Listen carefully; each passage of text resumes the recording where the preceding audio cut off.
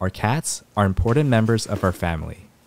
It is important to take the proper precautions to keep your cat safe, such as reducing the risk of transmission for deadly cat viruses, or recognizing the signs and symptoms of common illnesses so you can seek veterinary help for your cat. Early detection is extremely important and usually leads to better treatment outcomes. I am the cat butler, and today I'm going to talk about five common cat diseases and how you can prepare for them. Chronic kidney disease is the persistent loss of kidney function over time. It happens in 10% of cats over the age of 10 and over 30% of cats over the age of 15. Early treatment can improve and prolong the lives of cats with this disease. Cats with chronic kidney disease experience a buildup of waste products in the bloodstream that are normally removed or regulated by the kidneys. This buildup leads to weight loss and makes the cat feel ill. The cats lose their ability to concentrate their urine, and as a result, they urinate in greater volumes and drink more water to compensate. If you see your cat urinating more than normal, you should take your cat to the vet just to be safe. A blood and urine test are used to help diagnose if the kidneys are functioning properly. If you want to catch chronic kidney disease earlier, a recently developed blood test to assess levels of SDMA or naturally occurring biological marker for kidney function can be used to determine if early kidney failure is occurring. This will help your veterinarian provide treatment for your cat at a much earlier stage in the disease and help your cat live a lot longer. Treatment usually includes dietary modification and hydration. One way to keep your cat well hydrated is feeding your cats wet food over dry food. Wet food contains almost 70% moisture content versus 10% in dry food. So it is recommended to feed cats over the age of 10 wet food to keep them well hydrated.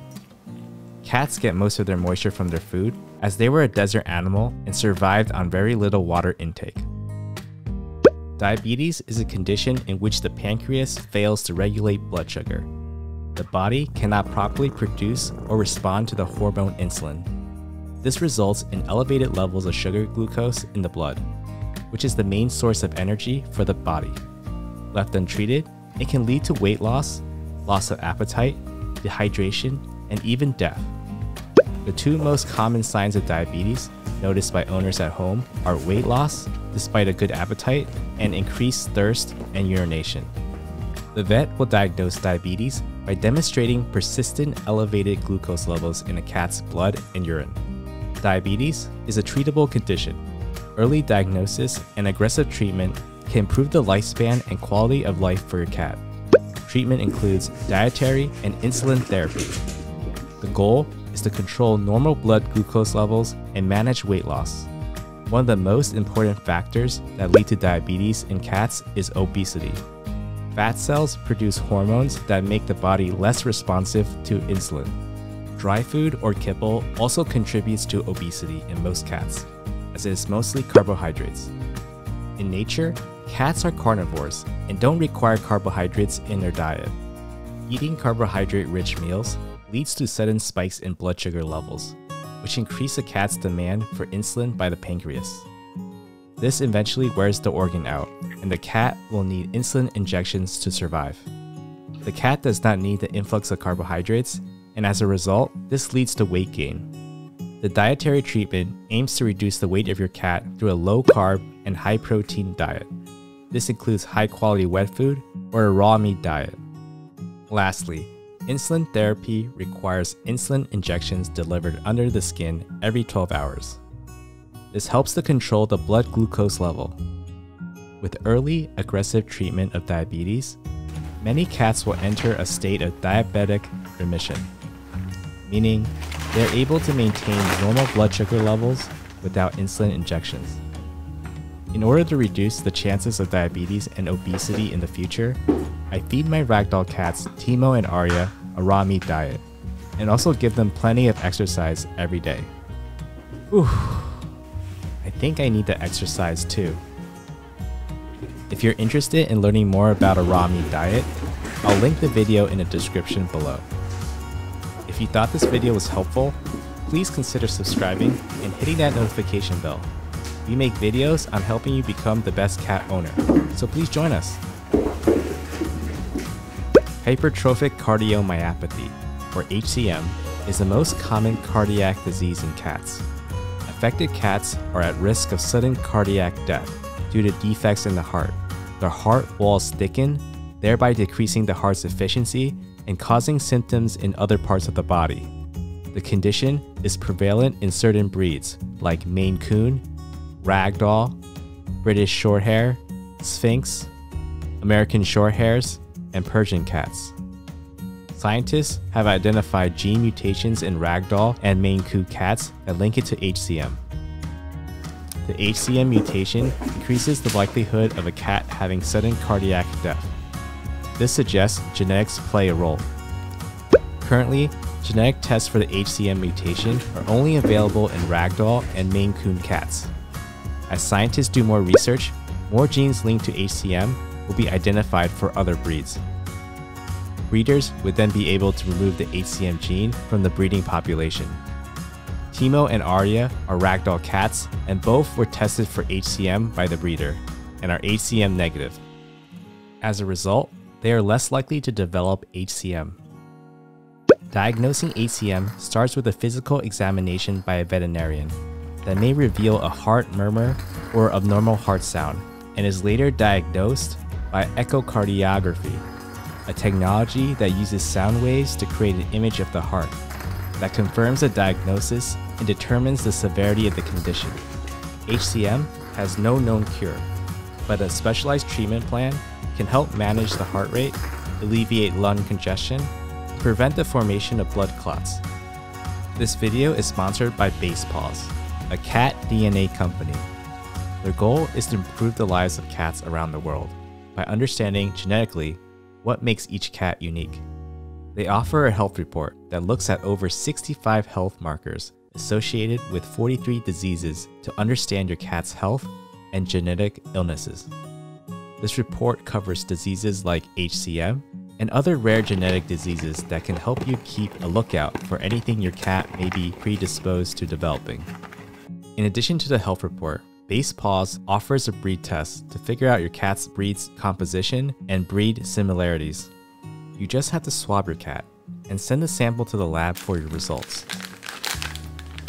For the month of December, Basepaws is providing a free dental health report and a free subscription to FirstVet for six months. Basepaws has kindly provided my viewers with a $45 off the Basepaws breed and health DNA test. Use the code TheCatButler to get $45 off your purchase. Over 50% to 90% of cats older than 4 years of age suffer from some form of feline dental disease. Dental disease causes serious pain and discomfort, and can cause a cat to stop eating. Fortunately, dental disease is largely preventable with appropriate preventative dental care and monitoring. The three most common dental diseases in cats are gingivitis, periodontitis, and tooth resorption.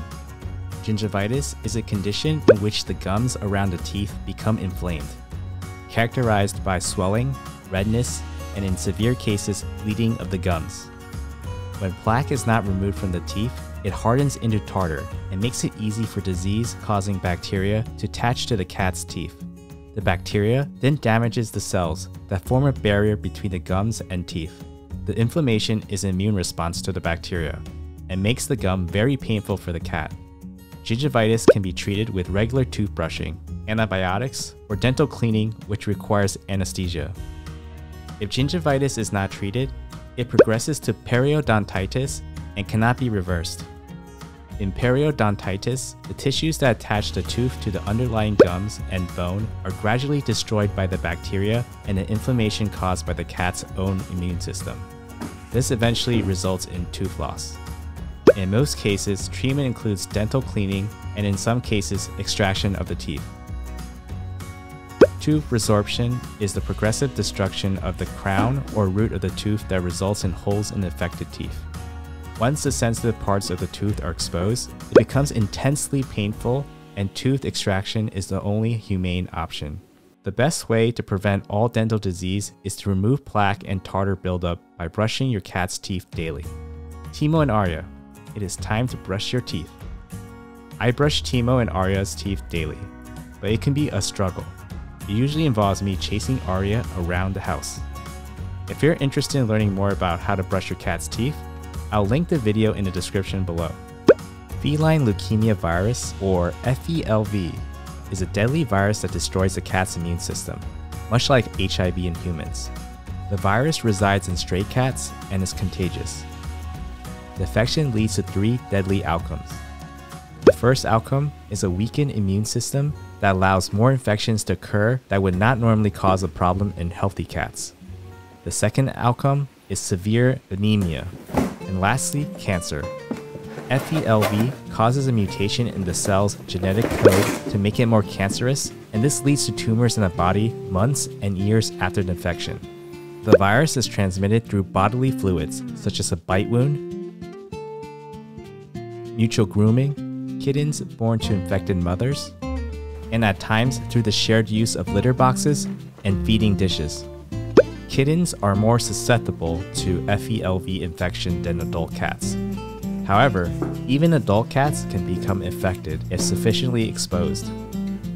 Studies have shown that 80 to 90% of FELV infected cats die within 3 to 4 years of diagnosis. There is no treatment for this disease, and the best way to protect your cat is to prevent exposure to FELV infected cats in the first place. Steps to protect your cat include keeping your cat indoors, testing all new cats entering the household for FELV to reduce infection, getting your cat the FELV vaccine, and parental supervision when your cats are outdoors. Teemo, I'm going to be watching you like a hawk when we are outside. You're not going to be out of my sight.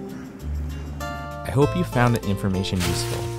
Early detection is extremely important and usually leads to better treatment outcomes. If you thought this video was helpful, drop the video a like. Say bye Teemo and Arya.